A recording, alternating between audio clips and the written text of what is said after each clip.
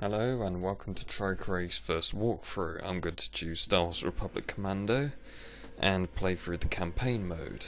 This game is basically just like a Halo type first person shooter where you also command your squad as well and set in the Star Wars universe, which I thought worked really well. Now, I'm going to shoot on and introduce you to the life of a clone. Uh, here you wake up in some tank, I assume, with some enormous necked woman leaning over you. Well, I think she's a woman anyway, but she doesn't even have any hair. And apologise that the graphics look a bit bad, but I had to sacrifice something so I can record it as I did, and it runs pretty smoothly, I thought.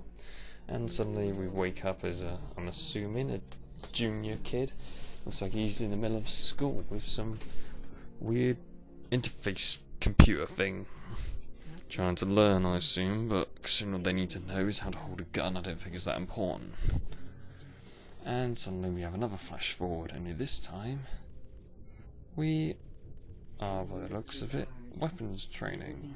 Incredibly basic without any actual AI opponents. And I don't know who they are in the red, I guess they're pilots of some sort. And another flash forward. Now let's see, we're getting our commando armor. Look how he's like, look at me. And his helmet, it looks a lot like Jango Fett and Boba Fett's helmet, only a bit more standard, less colourful. Looks like we're in a combat simulator. I don't actually know it's shooting them at this point the enemies will actually make a difference, but I decided to since the reticle turned red. And it's a good practice, I suppose, without being in danger. And that's quick, and suddenly we get another flash forward, and this time we get introduced to our team. There's Delta 40 in front of us in the green, Delta 07 in the red, and Delta 62 in the yellow. He's like, hey! He's just like, he seems like, huh? He's like really in the conversation there.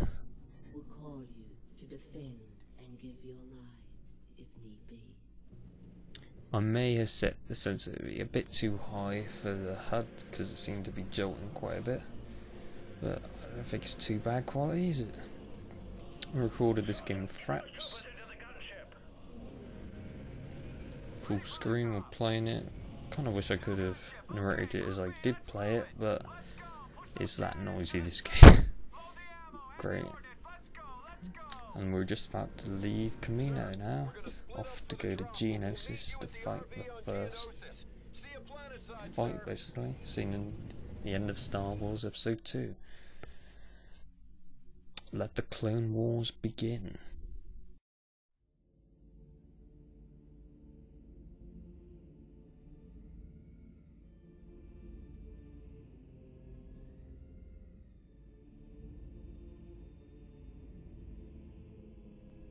This is basically just the introduction, just before the second half of Star Wars Episode 2.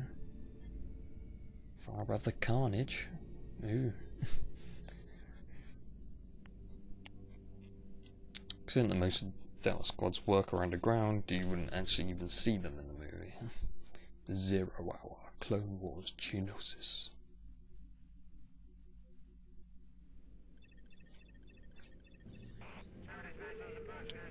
And looks like we finally wake up. I think we're in the Republic dropship about to take off. Oh, it's all dark. Ah! The guy next to me doesn't really seem to be bothered, he just stares at the floor the whole time. Looks like we finally entered the atmosphere of Geonosis. Is my superior officer, even though he's dressed in a normal trooper's outfit.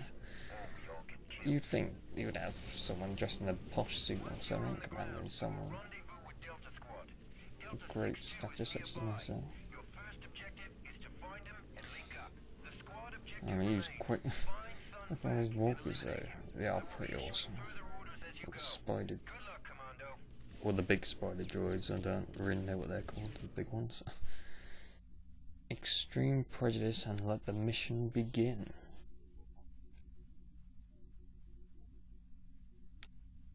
Start. And off we go. Looks like he's already died already. He's pretty pointless. Initializing squad link. Call into the HUD. And off we go. I was just testing my knife I can't remember what key it was. and the first generation just got blown to bits. it's a bit violent this game Somehow I lost half already, I didn't remember losing it. I'll just see if I can shoot them from here, which I can't, it's too far away.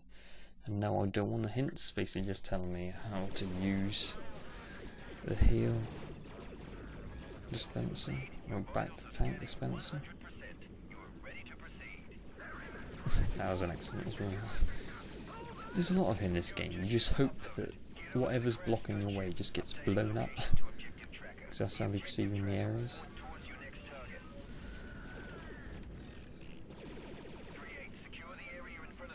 Hmm. Got in. Great game of hate insects. Good double shot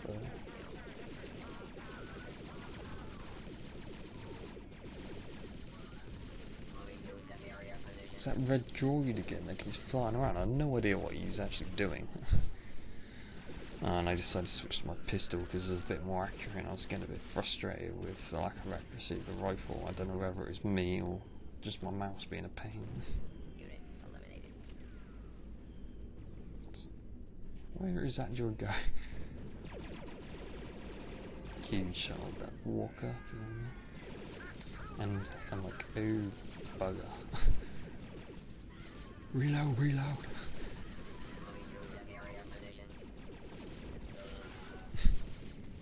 See, the knife does come in very handy because it's pretty much just an instant kill if you're close range. Nothing, you just can't be bothered just to shoot him. He's lost his head. Just like, what the hell's happening?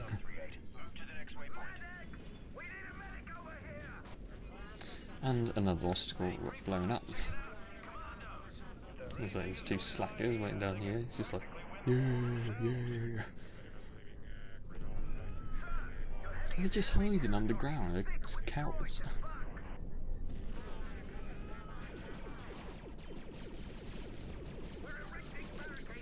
He's doing pain. He just did not want to die. The Trade Federation battle crews are uh, really lightly armoured, so they're pretty easy to take down. Just got battery fluid all over my face. it's pretty good effect with like the visor and the clean itself every so often. It gives more realism to it.